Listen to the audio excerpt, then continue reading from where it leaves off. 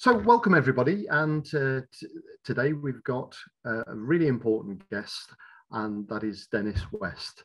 Uh, Dennis West was the winner of last year's Stripe Lawn competition, and so it's really, really great to meet you, Dennis.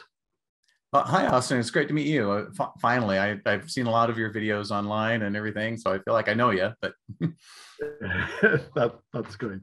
So, um, Dennis, uh, you know, we, we're really grateful. We, we've asked you as last year's winner to judge the 2022 competition. And uh, uh, you've, you've been very gracious and, and accepted that. And I've got to tell you, this is a hell of a chalice, chalice to, uh, to bear because this is, we've, we've, we've tried to do the judging ourselves and we find it extremely tough thing. So thanks ever so much for taking this on and uh, and good luck with this because it's it's going to be tough. There's there's always some amazing entrants.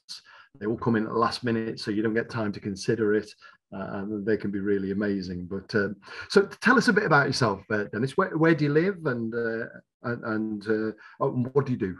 Well, I live in I live in Utah in the in the U.S. as as you know, and um, I uh, I'm a instructional designer for a, a international company that creates a fiber optic networking equipment. And so I create courseware for customers and, and partners and, and that kind of thing. My background is is in graphic design. I worked as a graphic designer for for many many years, and then I uh, went back to school uh, for animation. Um, and I was a little too old to enter into the feature animation uh, career, and so I I kind of went back to graphic design in a learning department, and now I'm actually pursuing a PhD in instructional design. So um, I'm almost done with that. Great, great. That's uh, that all sounds extremely impressive, and I and I'm got a feeling that the graphic design probably is something that's uh, come into your winning law design as well. It did, yeah, yeah. A, a, lot of it in the in the preparation, in the figuring out what I was going to do on it, and you know, just in the working out how it fits into the lawn shape and everything. Yeah, it did help a lot. So, for our viewers around the world, what, what's the climate like in Utah? Um, it's a it's I guess you could say it's a it's a desert at an elevation, and so we have it's a pretty dry climate, um, but we do get all four seasons, and so we get snow in the winter and and hot temperatures, um, and so um, so yeah, it's a it's kind of the kind of place I'd like to I like to live because I do enjoy all four seasons and I get pretty tired of the season by the time it's over. So I'm ready for the next one. but that's challenging to grow a really great lawn and keep it green and. Mm-hmm. Yeah, it. Uh, if you looked at my lawn right now, you would think that I was uh, that I didn't know how to take care of anything because uh, all the lawns right now are just brown. They're just straw brown, and uh, and so yeah, they're starting to wake up a little bit. Now yeah. And the types of grasses that you've got? Is Kentucky bluegrass. Okay, great. Yeah, so that goes really brown and dormant. Yeah, it does. We're not used to that in Europe actually uh, uh, altogether to see that brownness. But, uh, yeah, but great grass too. Yeah. Well, and because we're a um, because we're a desert, you know, we, we go through these long dry spells without any rain, and then in the in the fall, I try to keep it green as long as I can. But then the temperature drops down so low I can't run the sprinklers anymore because they freeze, and so then it just it just dies out by the time winter comes along. I've got to figure that out. Yeah, there's really, really interesting problems there. Mm-hmm. Those are that you that have to be overcome. Yeah, and I guess the yeah. lawn looks right at a certain time, and you right you need to right. run with it. Yeah, yeah that's great. Uh, and uh, tell us what the inspiration was for your winning design because it was absolutely amazing. Well, I like, uh, I, and thank you. I, I am glad I'm glad you like it, and I'm glad everyone else did too, as well. And um, it was a uh, I really like the kind of Celtic design patterns. You know, the the kind of weaves and braids and that kind of flowing, um, almost like a subconscious kind of uh, mental. You know, that you can uh, I don't know quite how to say it, but you know, like a stream of consciousness kind of uh, flow of the pattern through. And so that's kind of what um, what I came up with initially. And then the, my first year's entry, the 20, 2020 entry, um, was that kind of flowing waves. And then um, and this year I was trying to do something different, and I, I believe I shared a, an image of uh, more of a obvious kind of Celtic braid pattern with a W in the corner, and uh, but it just wasn't quite working right for me, and I decided to just go back to something similar. I think to what I did the first year. Um, but I, I kind of for this year I was browsing through designs online and I, I saw some Zen garden kind of, you know, how you rake the sand and, and go. And so that was kind of the starting point for this, for last year's design. And uh, so then I kind of I built on that. And it's just fun to mow because you get into kind of the Zen type, you know, feeling as you're following it along and weaving back and forth. And yeah, it's, it's fun. I think we all understand the meditation effect, even even if it's just boring old straight lines up and down the lawn like I do. It's mm-hmm. there's still a meditative uh, element to it, isn't there? To, to yeah. chill out. So yeah, you can shut out the world. Nobody's going to interrupt you because you know you're obviously doing something. So yes, exactly, exactly. No, but it, it, was really, really stunning, and you you absolutely deserve to win. Uh, I thought you should have won the year before. Actually, I, I into that secret, but, uh, but, but uh, that was it really was uh, fantastic, and it drove you to have to do another set of designs that we got the benefit of. And I think that was really great. So, what are the challenges for the what are the challenges for the people that are entering this year? What, what, hints and tips have you got for people deciding to enter enter the uh, International Stripes competition? Um, well, I, I, I think the first piece of advice I'd give or, or thought that I'd have is uh, just to to find a design that you like personally, you know, and that was what really kept me going was because I I, I found that I really liked it, you know, and so that that kept me wanting to to mow it over and over again.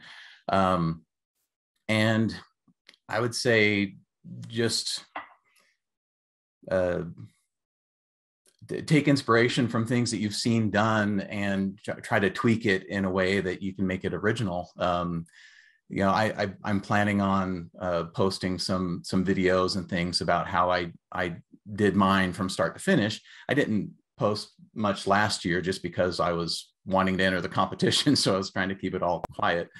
Um, but I'd like to show how I how I you know mark it out on the lawn and and everything. And um, but I'd hate for someone to just do that and and think that that's you know gonna gonna help them win because you know that's how I did it but that's not necessarily how they're gonna do it. You know they they they need to find something else out that'll that'll work for them. Like one of the top six last year was this there was the spiral pattern that was mowed in. And I would love to see that from an elevation to see exactly how that's done because I can't, from the angle that is shot at, I can't quite work out how they made those spirals so perfect. Um, and so uh, stuff like that is really is really interesting to try to see something that you quite, can't quite work out. How did they do that? And, uh, right. Yeah. Uh, how did they even do that? And uh, you know, right. we, we, we, think about this stuff, right? And uh, we still can't work out how they did it. So you're right. I, I think uh, yeah, that, that was amazing, and I, and I think yeah, that that mystery about how you do it mm-hmm. uh, make us really think about it. But um, yeah, it, it, needs to. I can see to to impress you, it's going to need to be pretty inspired uh, in itself. But um, yeah, that, so that's great. Um, what what mode did you use? I, am using a Kensington 20, uh, the 20H with the with the Honda engine. Yeah, so yeah, yeah. yeah, good good choice. Great. But again, for doing the intricate designs you were doing, that's quite wide mower as well. Mm-hmm, mm-hmm. Yeah, and it's uh, I've I've thought about trying to get a, a, narrower mower to to do some more fine details, but um, haven't quite found anything. There's one particular mower that's sold in the UK that I've had my eye on. It's just a manual push mower, uh, no engine, but it's not available in the states at all, and um, similar to the ones that uh, Keith uh, Smith used uh, to to do his original pattern. Um, so yeah, that, I was going to say that was exactly Keith's thing. He he's got those. He picks them off off at eBay. I think like like forty dollars or something, and uh, uh, and he's got a couple of them. But uh, yeah, it, it's I can understand how those would work uh, work right. well. The designs get particularly tight. Yeah, do do maybe some broader things with the 20 inch, and then go in with a 12 inch, and you know do some like weaving in and out or something like that. That'd be fun. So we're giving it all away now. We probably need to stop yeah, working out. That's right. the designs, designs keep that, keep that to myself. Yeah. Good. Give us. You're obviously into your photography, and and the drone shots you did as well were were really helpful. I think as well in terms of getting an idea of the scale of what you did. Um, so uh, hints about the photography uh, when it comes to you can have that great design, but if the photos no no good, you're going to be judging ultimately from photographs. Uh, right. Can, what hint can you give about that? Well, I did use a drone. Um, there's a, a, the drone I used was a, a Mavic Air 2, um, but you, a Mavic Mini, which is about half the price. About um, that would that would work too. And I think I think the uh, if if you're doing a directional striping, then you really have to pay attention to the uh, time of day. And, and my, my design included some directional striping in it as well, uh, not just the different height cuts. And uh, so I, I found that if I took the picture around eight or nine in the morning, the sun was at the right angle to be behind the drone when I, when I took the shot um, so that it would, it would make those stripes uh, pop a little bit more. And so that was really helpful. I uh, initially I just had a really tall pole that I put my uh, GoPro up on that I would uh, shoot the lawn with, but just wasn't quite uh, tall enough to really capture the whole lawn.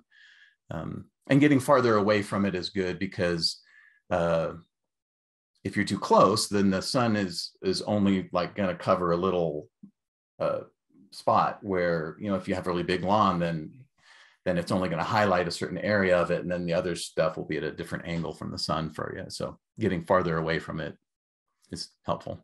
Um, so dennis when you heard that you'd won the competition uh, where were you and, and how did it make you feel well i, I work from home and so um, i'm all by myself all day and uh, but i had posted on uh, uh, uh social media that that the um, the announcement was going to be made soon and so it was just uh, it was just a super exciting moment. You know, I, there was the, you know, you had announced the top top end of the top six, uh, the, I think the day previous, and then um, we're down to the top three. Um, and so, you know, the first, the third one was was announced, and it wasn't me. you know, and the second one was announced, and it wasn't me. And I'm like, well, okay, well, either I'm number seven or above, or I'm, you know, and and so then finally it was uh, you you announced my name and and showed showed my lawn and it was just yeah just a really exciting moment you know just something that i hadn't experienced for i, I don't know it was you know yeah it was a once in a lifetime uh, moment for me i'm sure the way that that laura does that she would have been a torturer in another life uh, that is torturous to do it in that way but it it adds the fun right yeah, yeah, it was it was a it was a great day. Yeah, that's good. Well, I, I think that uh, that just about wraps it up. We don't want to oh. be going on too long about this, and we definitely don't want to be giving it all away. Mm-hmm. Um, I, I, wanted to wish you uh, well, great thanks for taking on the challenge of, of being this year's judge. Uh, the competition's entries are are open now.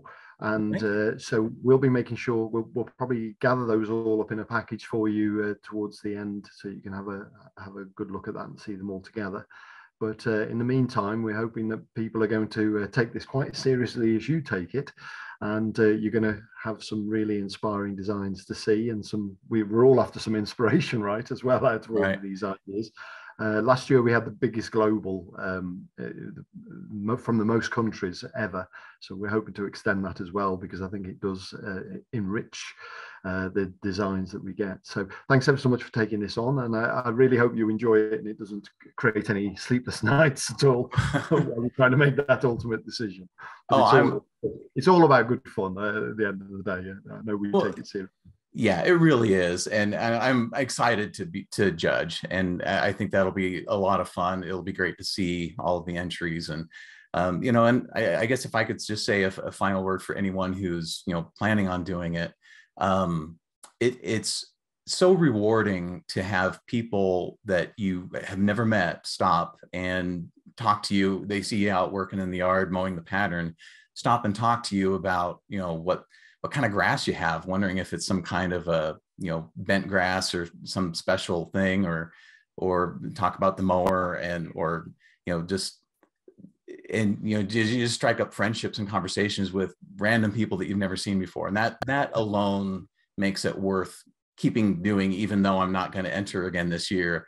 Um, i'm still planning on continuing it because it's just so much fun to get that kind of feedback yeah absolutely i hear so many times the people they read they think they've reached the, the high point of their life when the postman says asks them whether that's artificial turf or not. I hear that so many times because it is it just fills you with pride, right? So yeah, I've had, I've had that happen a few times. It, it's uh, it is fun. Yeah, yeah. Thanks, thanks ever so much for that. Great. So I'm I'm going to leave you. I'm sure we're going to insert some beautiful uh, photos and video footage of your your lawn right now. So please, everyone, enjoy. Um, for those of you that want to enter this this amazing competition, then uh, uh, we'll be posting on our website all the details that you need in order to enter and hints and tips so that you can prepare. Uh, and uh, we really, really look forward to seeing your entries. And uh, and Dennis will be scrutinising those. Uh, I think in August is the time that we we actually make the announcement. So that's great. Really good to have met you as well. really admire your work.